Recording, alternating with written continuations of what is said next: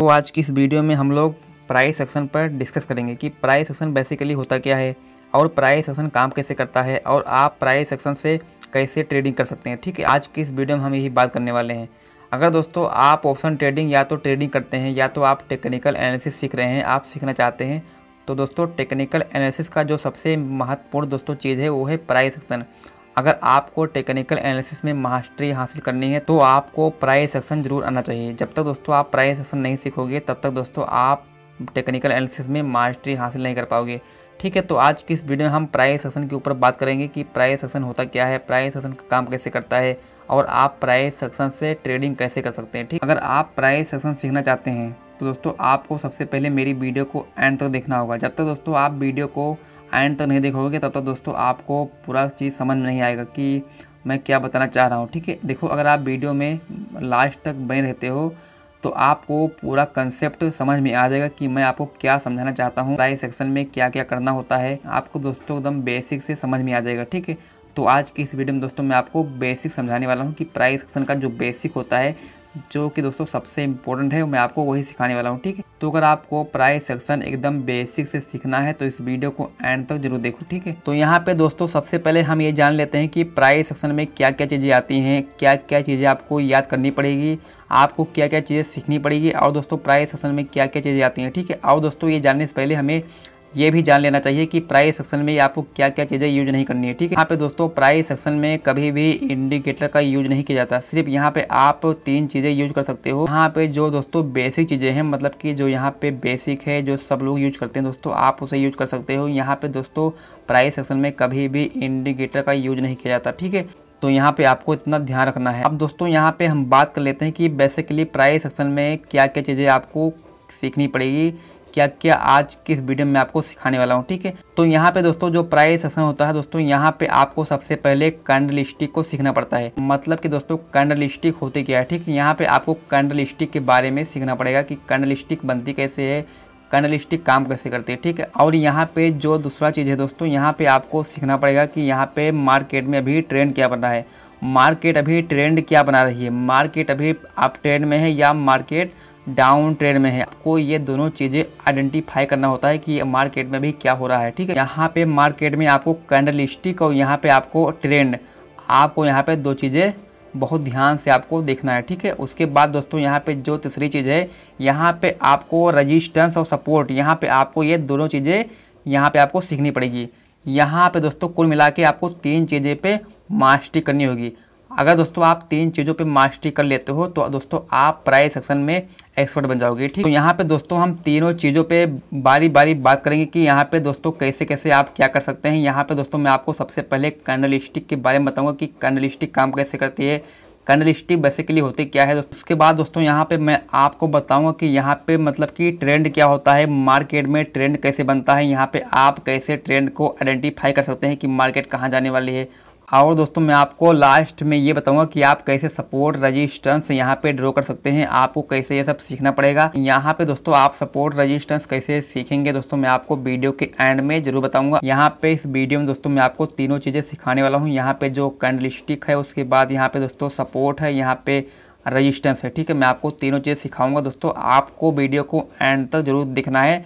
ताकि दोस्तों आप सीख जाएँ कि यहाँ पे प्राइस सेक्शन में क्या क्या चीज़ें होती हैं क्या क्या आपको करना होता है, ठीक है? तो चलिए वीडियो को स्टार्ट करते हैं और आपको सिखाते हैं। तो यहाँ पे दोस्तों सबसे पहले हम ये समझते हैं कि कैंडलिस्टिक होती क्या है, कैंडलिस्टिक काम कैसे करती है, ठीक है? यहाँ पे हमें कैंडलिस्टिक क्या बताती है? यहाँ पे दोस्तों जो आपको ये बेरिस कलर में मतलब कि यहाँ पे जो रेड कलर में दोस्तों कैंडल है, ये आपको दोस्तों बता रही है कि मार्केट यहाँ से टूट सकती है। यहाँ पे दोस्तों मार्केट में जितनी भी रेड कैंडल बनती है, यहाँ से मार्केट दोस्तों नीचे जाता है मतलब कि मार्केट बेरिस होता है।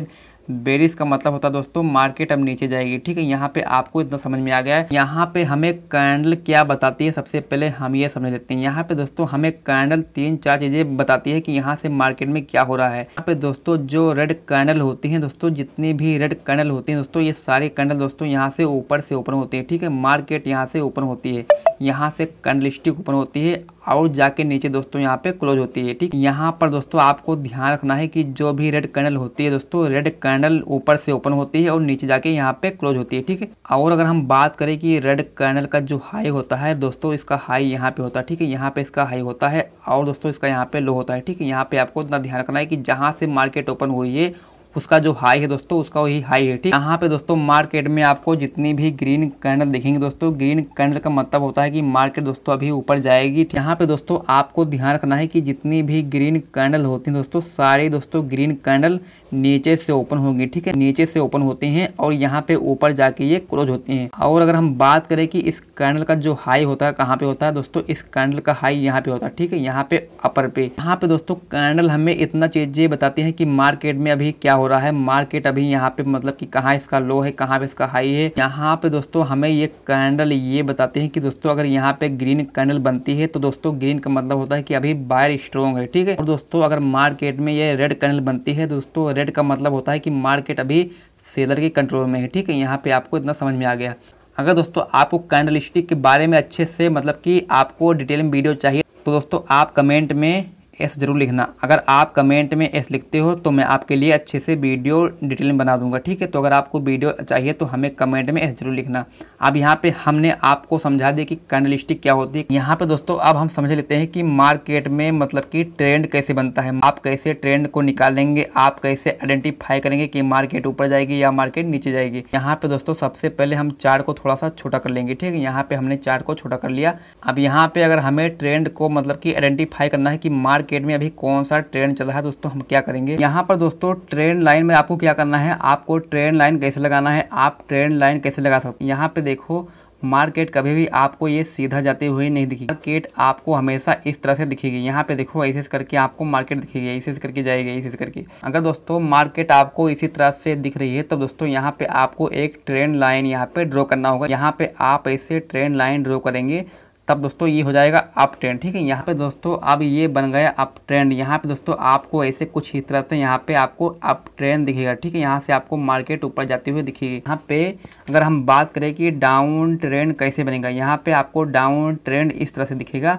ऐसे से करके यहाँ पे आपको मार्केट नीचे जाती हुई दिखेगी, ठीक है? ऐसे से करके। तो यहाँ पे आपको डाउन ट्रेंड में कैसे ट्रेंड लगाना है, यहाँ पे आपको अगर ऐसे मार्केट दिखती है तो यहाँ पे आपको एक ट्रेंड लाइन यहाँ पे आपको खींचना होगा। जैसे यहाँ पे आप एक ट्रेंड लाइन खींचेंगे, दोस्तों, ये हो जाएगा डाउन ट्रेंड, ठीक है?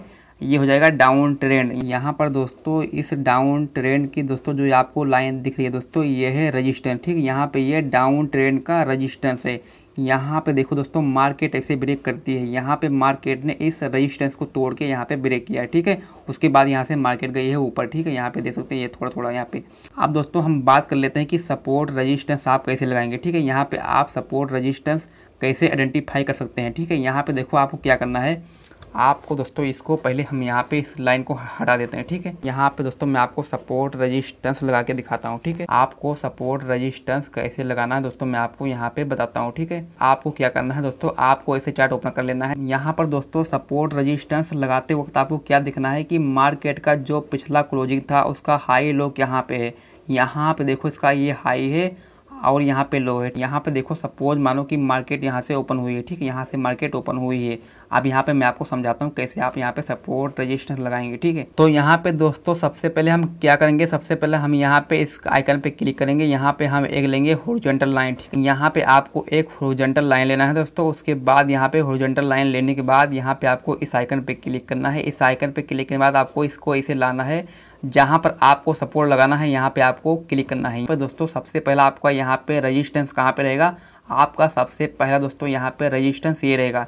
यहाँ पे आपको इस पर क्लिक करना है, ठीक है? यहाँ पे जैसे क्लिक करेंगे, यहाँ पे दोस्तों ऐसे क्लिक करेंगे, ठीक है? यहाँ पे देखो सपोर्ट लग गया। हमारा ये रजिस्टेंस हो गया और हमारा ये सपोर्ट हो गया, ठीक है? यहाँ पे दोस्तों हमारा ये दोनों चीज़ तैयार हो गया। अब यहाँ पे मैं आपको दिखाता हूँ कि ये कैसे यहाँ पे सपोर्ट को तोड़ के मार्केट हुई है ब्रेक, ठीक है? यहाँ पे दोस्तों आप ट्रेड लिए होते तो दोस्तों आपका बहुत फ़ायदा होता। यहाँ पर दोस्तों मार्केट ने आपके सपोर्ट को तोड़ के उसके बाद यहाँ से मार्केट ब्रेक किया है। देखो यहाँ पे ये ब्रेकआउट हुआ है उसके बाद दोस्तों मार्केट का यहाँ पे ये, यहाँ पे दोस्तों आपको एक सपोर्ट और लगाना है। मैं आपको बता रहा हूँ कि यहाँ पे जैसे मार्केट यहाँ से ब्रेकआउट हुई, आपको एक सपोर्ट और लगाना है। मैं आपको सपोर्ट लगा के दिखाता हूँ, ठीक है? यहाँ पे आपको इस पर क्लिक करना है, यहाँ पे ऐसे क्लिक करेंगे, यहाँ पे आपको एक होरिजेंटल लाइन लेना है। यहाँ पे देखो, जहाँ पर मार्केट बार बार रिस्टेस्ट हुई है, वहाँ पे आपको क्लिक करना है। यहाँ पर मार्केट बार बार सपोर्ट लिया है, हम इस पर क्लिक करते हैं, ठीक है? जैसे क्लिक करेंगे, यहाँ पर दोस्तों आशा करता हूँ कि आपको कैसे सपोर्ट लगाना है, दोस्तों आपको समझ में आ गया होगा। दोस्तों अगर आपको वीडियो अच्छी लगी है, और दोस्तों अगर आपको इससे वीडियो और भी चाहिए तो हमें कमेंट में एस ज़रूर लिखना, ठीक है?